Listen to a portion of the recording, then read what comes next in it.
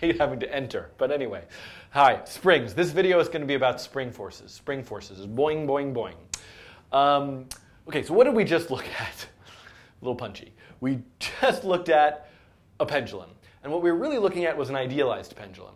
The, the arm of that pendulum, it, it, we didn't really simulate the fact that it, it you know, it, couldn't bend at all, it couldn't shrink, it couldn't expand. It was just this sort of idealized rod that was unbreakable and perfect.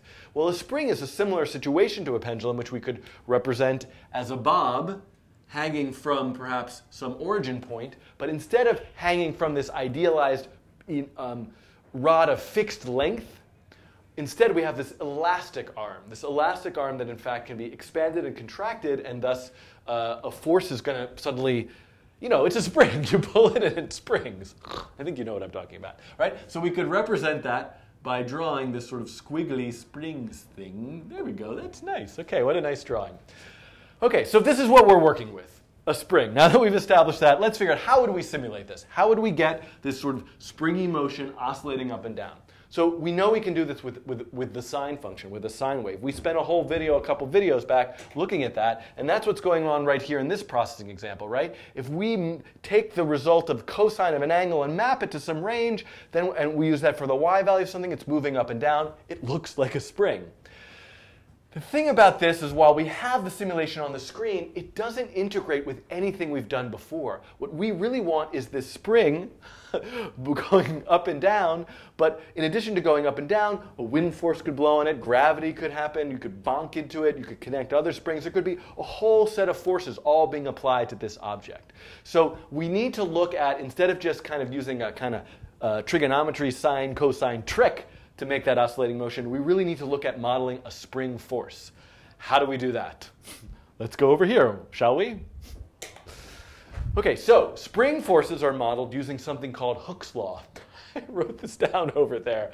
Hooke's law is, uh, in, in, Latin is, which I can't pronounce, but maybe nobody can pronounce Latin or whatever, ut tensio sic vis translates to as the extension, so the force. And it would be nice if like the letters just of that appeared in front of me, but that's not going to happen right now. But what we're talking about is we're saying the force of a spring is directly, directly proportional to the extension of the spring, right? The more we stretch that spring out, the stronger that force. The more we contract the spring, the stronger the force. A spring at, at rest won't have any force. And Hooke's law is typically written as follows. F equals negative k times x. So what are these values? As with just about everything we were looking at in this series of videos about something, we've got a constant, right? K is a constant. You know, it probably has some real world numbers for different kinds of springs, but for us, it's just allowing us to tweak, tweak the behavior of our spring. Is it a really elastic spring or is it kind of a rigid spring? Try a higher constant, try a lower constant, you'll see what happens. Deep breath. What is X?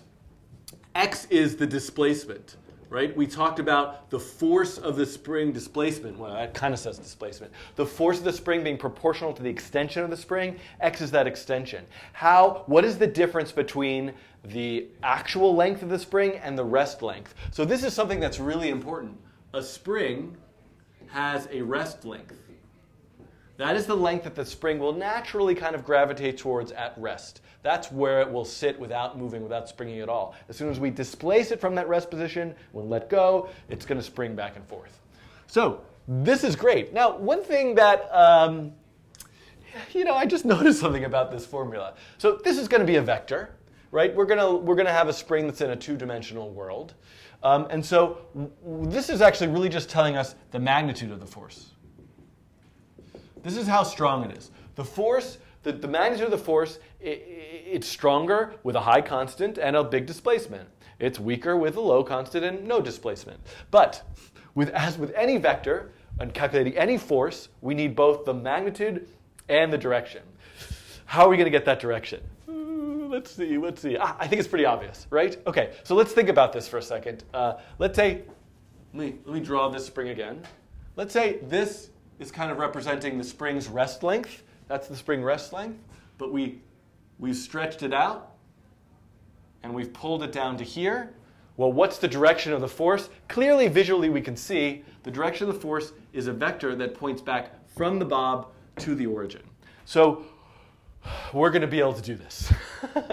we know that if we know this as a location, origin, and this we're calling the bob, and maybe this bob is going to be an object with a location, we can make a vector that points from the bob's location to the origin, and then we can calculate its magnitude by saying negative the display, negative the, some constant times that displacement. How do we know that displacement? Well, look at this. This, I would say, is the current length. Current length. So we have the rest length and the current length. What is x equal to? X is equal to current minus rest. What is the difference between the current length of the spring and its rest length? Here we can see it's, you know, it's going to be some number. it's longer. You can see here that if we were to kind of shrink that spring, like push it all the way in, right? This is still our rest length. We push the spring all the way in. That displacement is going to be a negative number, and so that's going to reverse the direction of the force. So then that force would push it out. So, you know, if you ever saw all of these simulations of stuff on the screen, which is like springing, bouncing, all this, it looks kind of cool, it's all springy, and you think, oh, that's physics and I can't handle that. Look at this formula.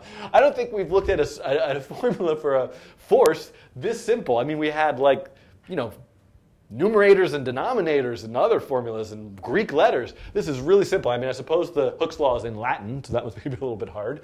But, but here we've just got negative k times x. Awesome. And we know about vectors. I'm pretty sure we can do this. Okay, now what I want to do is kind of start putting some code together that's going to make, that's going to simulate this spring force. And then we'll talk about, a big question in it here is how do we really organize this program in an object-oriented way? And I am recording this, so I haven't wasted my time so far. you know, in that last video, the pendulum one, I didn't stop to say I was recording, which was a good thing. Okay, but and, and we've been going about seven minutes. Good. Okay, I got to stop talking about that I'm making a video. You guys know that I'm doing that. Okay, hi. Here we are. Now we're over here. So we, we looked at this oscillating one. It's very hot in here, uh, and I'm going to close this out, and let's look at this one. So one thing I should notice. Whoos, is that one thing that we should notice? I should notice. You should notice. We should all notice. We should all notice is that the bob is now a mover object. We didn't have that with the pendulum. Our pendulum example, we kind of did in this simple way where we just dealt with sort of like the vector location of the bob and the vector location of the origin. We did some trigonometry and it moved. We really want to build this in a way that other forces, we could blow some wind on it and it would move. So that bob is a mover. It could experience gravity, it could experience wind, or friction, any made up forces that we had, but it also can be connected with a spring force. A spring force is just another force we can apply to an object. So somewhere, at some point, if we do this successfully, which I'm going to try to do, we're eventually just going to say Bob dot apply, Bob dot dad, Bob dot apply force, uh, spring force. Right? This is what we're looking to do. We need to calculate that spring force and then apply it to our object. Can we do that? I think we can. So let's think about, uh, let's remind ourselves the magnitude of the force is negative some constant times the displacement. Okay, so in order to do that, we need to figure out what is the displacement. Ah, forget it. Let's figure out the direction of the force first.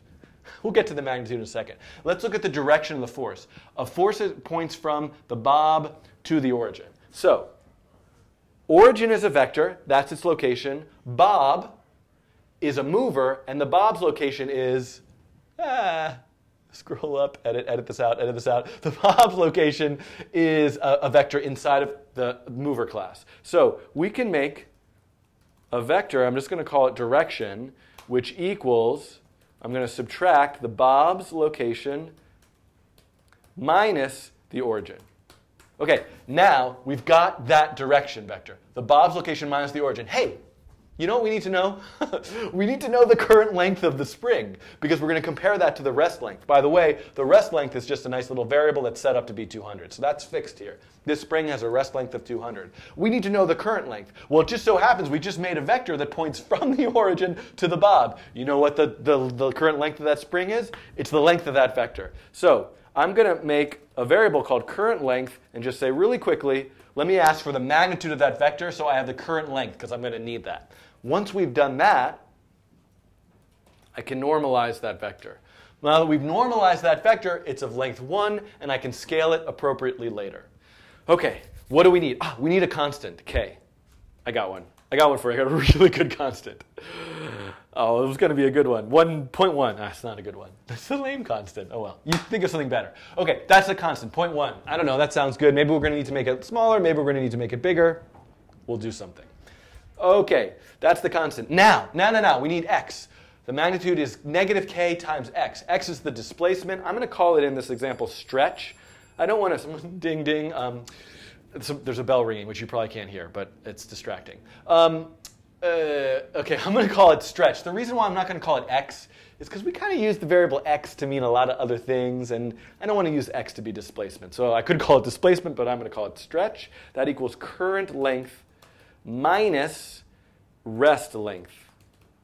Awesome. So we've got the constant k, we've got the displacement. Now all we need to do is say, all right, multiply that force, that direction vector by negative k times stretch. That's what Hooke's law says. And then didn't we down here say, what are we going to do? We're going to apply that force. Now we called it DIR for direction, but then we manipulated it. Maybe it would have made more sense to call it spring the whole way through.